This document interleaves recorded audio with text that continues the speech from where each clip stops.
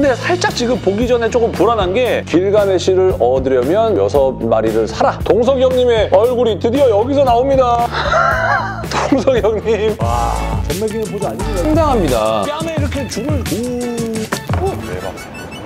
오. 네, 상추들 반갑습니다. 오늘은 어떤 피규어를 보여드릴 것인가? 11월 3일에 개봉한 따끈따끈한 마블의 신작 이터널스의 피규어 9종을 가져와 봤습니다. 어, 형! 둘 넷 여섯 여덟 8종인데 왜 9종이라 그래요? 이따가 설명을 드리도록 하겠습니다. 이터널스 간단하게 조금 설명을 드려야 되겠죠. 클로이 자오 감독이 또 연출을 맡았고 다소 생소한 캐릭터들 일색이죠. 셀레스티얼의 명을 받고 7천년 전에 이제 지구로 왔습니다. 요 이터널 종족이 10명이 되어 있더라고요. 그래서 데비안츠라는 종족으로부터 인간을 보호하라는 사명을 받고 와서 그 친구들을 물리치고 자기들 생활을 살고 있었는데 헐크가 사람들을 돌아오게 하는 딱 스냅을 치잖아요. 그래서 인구가 뭔가 급격하게 회복되면서 에너지 때문에 데비안츠가 다시 돌아와요. 그래서 얘네들과 다시 싸우는 그런 내용입니다. 어, 형 아직 안 봤나 봐요. 제가 11월 3일 개봉 전에 촬영을 하고 있어요. 지금의 저는 보지 못했고 이 방송을 보고 있는 미래의 저는 이터널스를 봤겠죠. 근데 살짝 지금 보기 전에 조금 불안한 게 로튼 토마토 지수가 지금 많이 낮아요. 60%대 언더로 막 가니 많이 하고 있습니다. 현재로서는 MCU 로튼 토마토 지수 중에 지금 역대 최저입니다. 토르 다크월드가 한 66% 정도로 최저였는데 얘네가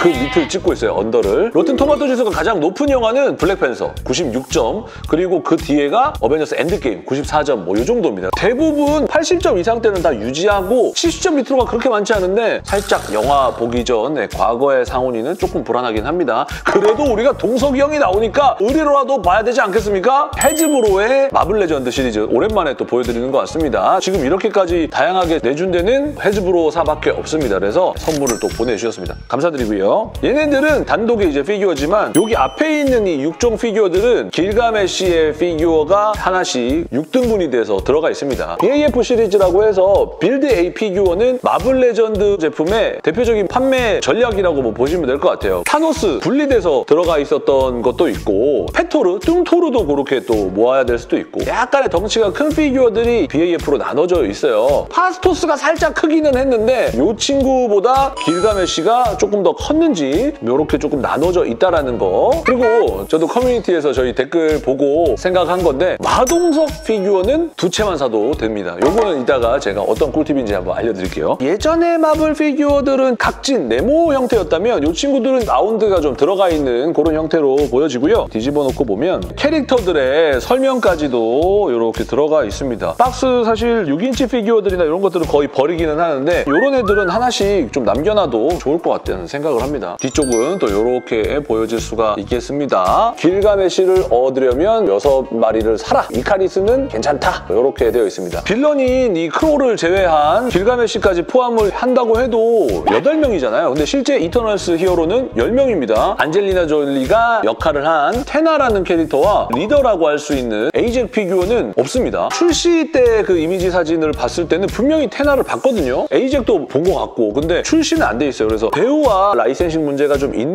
지 아니면은 조금 늦게 출시가 되는 건지는 모르겠지만 아무튼 그 두 명은 없고요. 나머지 여덟 명을 이제 하나씩 하나씩 보여드리도록 하겠습니다. 졸리 누님이 없는 게 졸리 아쉽습니다. 자, 첫 번째 이카리스부터 보여드릴게요. 마동석 형님의 parts가 들어있지 않은 이카리스고요. 리처드 매든 배우가 역할을 했죠. 마블의 슈퍼맨 캐릭터라고 보시면 돼요. 기원전 7천년 전부터 사실 와 있었잖아요. 뭔가 상형 문자 같은 것들이 들어가 있는 것 같고요. 기본적인 펼친 손 한 쌍이 들어있고 metal blue 색깔의 페퍼포츠 수트, 레스큐 수트 그런 느낌의 예쁜 색감을 가지고 있는 이카리스의 수트입니다. 이터널스 종족의 이 수트가 다 해, 달, 상형 문자 이런 느낌의 문양도 좀 하고 있고 전체적으로 이런 스커트? 개인적으로는 멋있는 것 같지는 않아요. 캡틴 아메리카 수트라든지 토르 수트처럼 막 특징적이진 않고 10명이 다 약간 비슷한 느낌의 수트를 입은 느낌은 좀 있습니다. 아무튼 가장 큰 특징은 이카리스는 눈에서 레이저가 나간다는 거. 그래서 레이저가 나가는 헤드를 하나 더 넣어줬어요. 이런 느낌인데 패션 선글라스를 쓴 느낌도 조금은 있는데 개인적으로는 눈이 있는 것보다는 눈이 없는 게 조금 더 나은 것 같습니다. 마블 레전드 가격대는 4만 원대라고 보시면 되세요. 그래서 4만 원 이상의 퀄리티는 분명히 내주는 것 같습니다. 이제 세르시를 보여드리도록 하겠습니다. 이터널스의 가장 주인공 격이라고 보셔야 될 것 같고요. 세르시는 동석이 형님의 왼다리가 들어가 있습니다. 왼다리가 머리칼이 좀 날리는 느낌의 세르시 고요. 젬마 찬이라는 배우가 이 역할을 했죠. 뒷모습은 조금 더 길게 내려오는 스커트를 가지고 있고요. 펼친 손 플러스 왼손은 두 손가락을 이렇게 하고 있는 느낌. 주먹진 오른손에서 추가 손파츠가 들어가 있고요.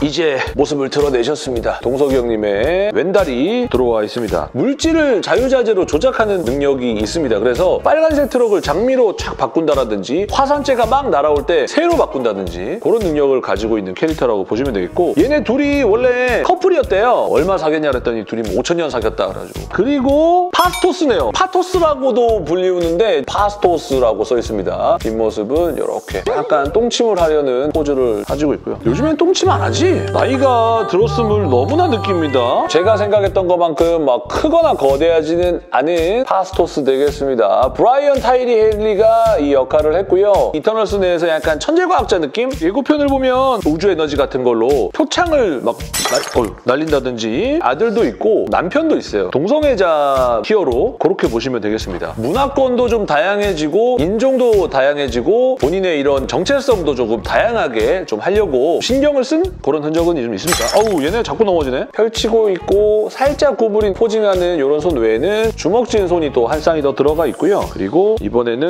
동석이 형님이 이제 오른다리가 왔습니다.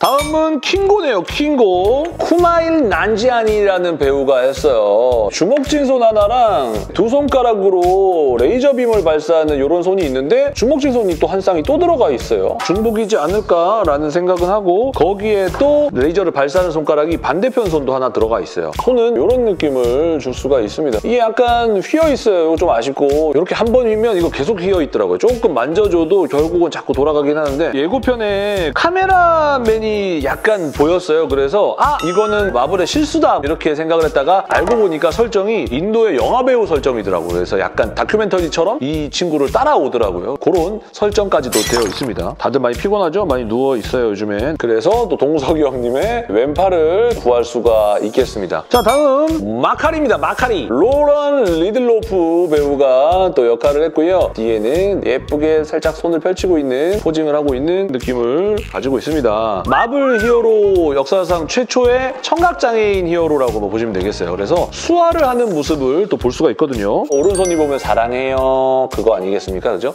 요거 이쪽도 엣지 있는 손을 왼손을 또 하고 있습니다. 그 외에는 어 이게 손이 손이 좀 크네요. 아 그거네. 원래 마카리의 작은 손은 이렇게 주먹진 손이 들어 있고요. 킹고랑 마카리가 이렇게 길가메시의 오른팔 왼팔을 담당하고 있잖아요. 그래서 거기에 길가메시 주먹진 손이 양쪽에 들어 있었던 거였어요. 마카리의 능력은 스피드입니다. 마블의 플래시라고 뭐 보시면 되겠고 자 그리고 스프라이트입니다. 꼬마 소녀죠. 리아 맥 큐가 또 연기를 했고요. 이 친구는 환각 능력이 좀 있어요. 그래서 예고편에도 보면은 동료를 투명화시키는 능력치를 또 가지고 있죠. 가장 나이가 어린 히어로가 아닌가 생각은 들고요. 조금 작은 캐릭터를 보여주고 있고 어깨 쪽에서 내려오는 천이랑 허리 쪽에서 내려오는 천 이렇게 레이어가 2단으로 되어 있어요. 입체감이 있고 그리고 어, 어, 어.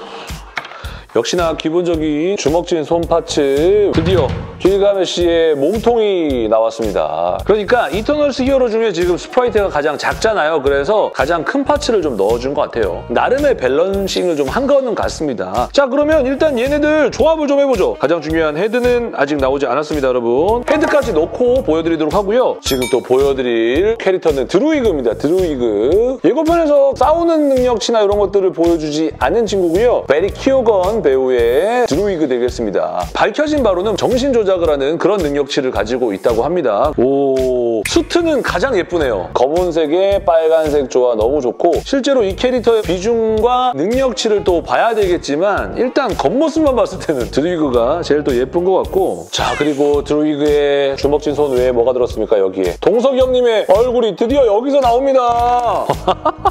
어, 좋은데요? 얼굴 한번 꽂아서 보여드릴게요. 프로토타입 공개했을 때 너무 좀 뭉개진 얼굴들이 나와서 막 사람들이 퀄리티가 조금 떨어지는 거 아니냐라고 좀 의심을 하셨었는데 마블 레전드 시리즈들도 헤드 퀄리티가 6인치 치고는 꽤나 좋게 나오거든요. 어떻습니까? 오 너무 좋은데요? 괜찮지 않나요? 야, 이 형님 진짜 데비안츠 진실의 방으로 할 것 같은 그런 표정. 싸울 때 지금 예고편에서는 항상 막 웃고 있는 느낌, 뭔가 싸움을 좀 즐기고 있는 느낌인데 인상을 쓰고 있다기보다는 그냥 약간의 좀 뚱한 표정. 뒷모습은 또 이렇게 생겼습니다. 계속 아쉬운 거는 이터널스 10명이 아니고 8명만 데리고 있다라는 살짝의 아쉬움은 있는데 나중에 또 나오게 되면 구입을 해서 소장을 해야 되겠다는 생각이 들고요. 그리고 동석이 형님을 이터널스 히어로에서 범죄도시나 악인전 동석이 형님으로 바뀌는 모습 조금 이따가 보여드리도록 할게요. 그리고 빌런을 또 안 보여드리면 섭섭하죠. 데비안츠의 수장이라고 해야 될까요? 데비안츠를 이끄는 크로입니다. 뒤쪽은 어, 포스 있게 생겼어요. 이 친구는 가격대가 조금만 더 있는 것으로 알고 있습니다. 와 뭐야 촉수 보소 와야 이거 진짜 이거는 안 갔으면 큰일 날 뻔했다. 느낌이 좋은데요? 너무 마음에 든다. 일단 발바닥이 야 스탠드 없어도 쓸 수 있는 이 정도 발바닥 너무 마음에 든다. 얘네들을 이제 여기 꽂아주면 되는데 와 이거 너무 좋은데? 동그라미는 동그라미대로 네모는 네모대로 이런 식으로 지금 양쪽에 꽂아주면 실타래가 엉키듯이 지금 이렇게 들어가 있고요 얘들은 손에 꽂네요 오 전환까지 같이 잘라내면 이렇게 파츠들이 들어가는 거예요. 아, 이거는 뭔가 존재감이 또 상당할 것 같습니다. 아, 이게 마블이 전통적으로 사실 빌런이 약하거든요. 타노스 같은 빌런이 단독 영화에서는 사실 많이 나오지가 않아요. 크로는 좀 기대를 해보겠습니다. 근데 약할 것 같아. 내 촉이 그래요. 미래의 상훈아 그렇니?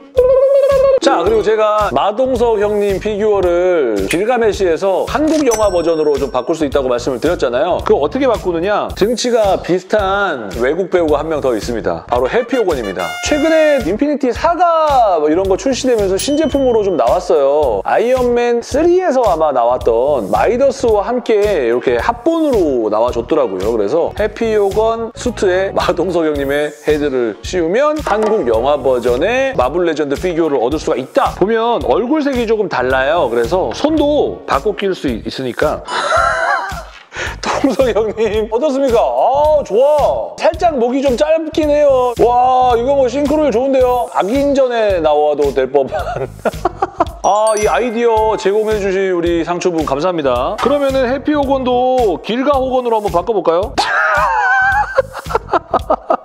멋있어, 길가 호건.